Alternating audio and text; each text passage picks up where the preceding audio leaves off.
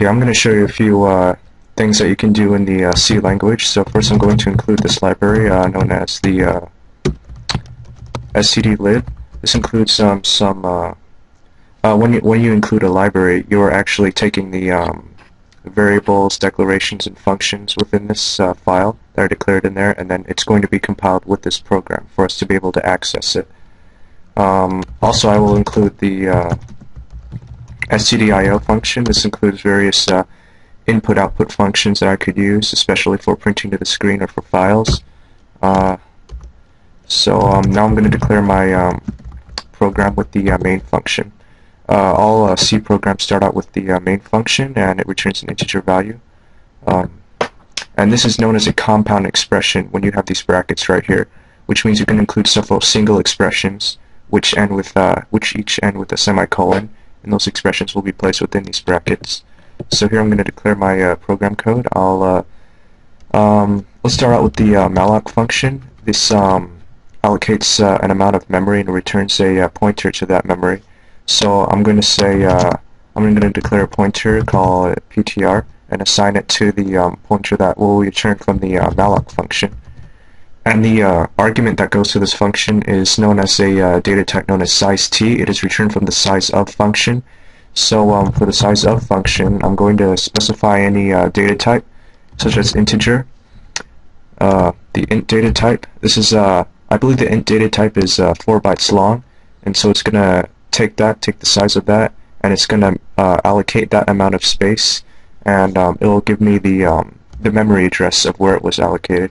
So um, just to be sure, I'm going to print that out. So I'm going to use a printf function. Uh, I'm going to print that on a line.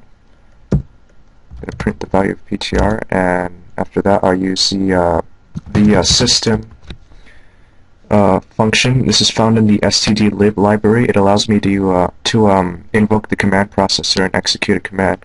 So for a cmd command, I could say uh, pause going to use that so I could um, see what's going on in the program, otherwise the window will open and close right away. Then after that I'll um, return from the uh, main function, which will um, terminate the program and give me an exit status of 0. This one that I specify. That will be uh, set to the error level variable after you uh, open the program. So, so I'm going to run this. Uh, so as we could see, it uh, allocated that, assigned that to pointer, and then uh, printed out the um, memory address of this uh, pointer right here. Pause, press any key to continue. So uh, it's one of the functions. Um, actually, I forgot something important. Well, I don't know if there's really any difference, but there's this function known as free. It um, any space previously allocated with the malloc function, this one will deallocate that memory. So um, I just have to specify an argument uh, pointer uh, of a pointer, which will uh, specify the memory address of where that data is um, allocated in memory, and then it'll deallocate that. So, um, I guess there's not much of a difference, but yeah. Another function within this library is uh, known as, uh, there's uh, two functions within the stdlib library that allow me to use um, random numbers. Um, we have the, uh, the rand function. This will uh, return a random number. Uh, so I'm going to assign that to x in an integer variable that I'm going to declare. I'm going to print that out.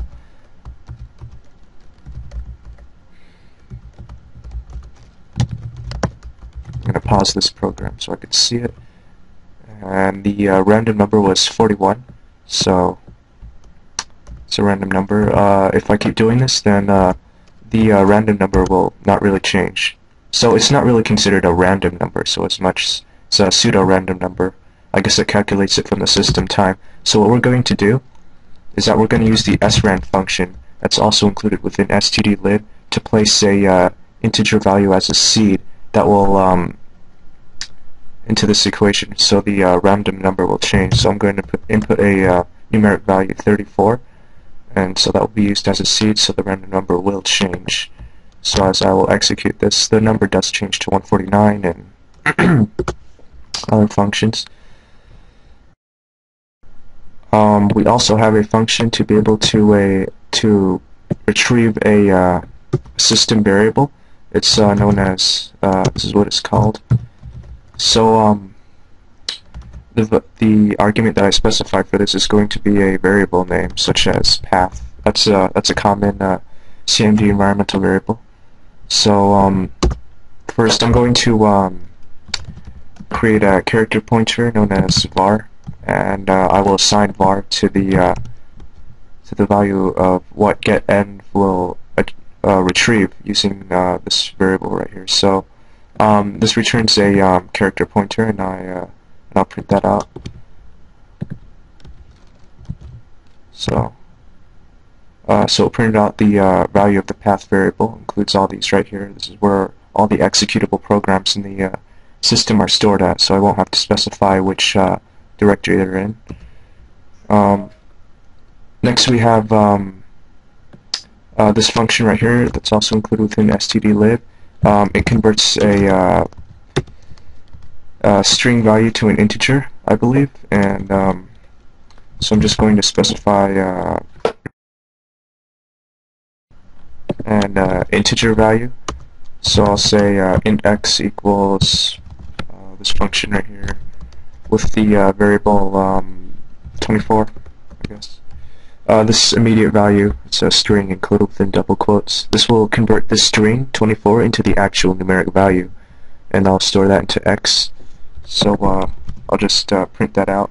Notice that I use percent %d right here. This means that it's going to be a, a decimal or integer value and uh, so that's actually proof that it's a number and not a string otherwise I, I would have used percent %s for the printf function and it printed out 24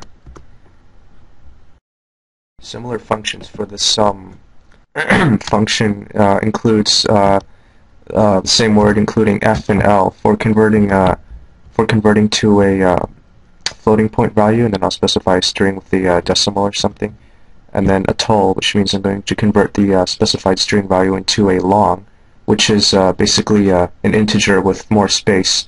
I think it's uh, 8 bytes long. It allows uh, bigger numbers. So, so that was just a few of the uh, functions that I've shown you right here in this C++ and the C program for what's included within the stdlib library.